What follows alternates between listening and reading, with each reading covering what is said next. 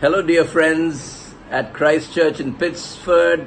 I wanted to say hello to you from uh, warm Chennai, uh, especially because I wanted to say congratulations and Godspeed to Josh, Emily, um, Eleanor, and James as you begin your new journey uh, to a new cure, as you make friends. Uh, we pray that uh, God's presence will go with you.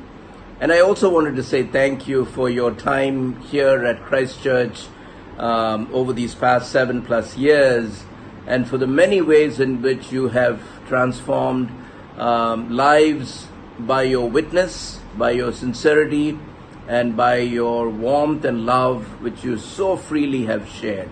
Uh, go with God, and I also want to say to the saints at Christ Church, remember that you're Christ's church, and so things will be fine. Uh, so I pray that all your goodbyes are really wonderful.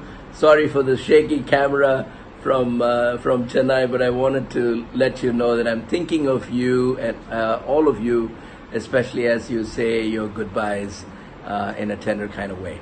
God bless. Bye now.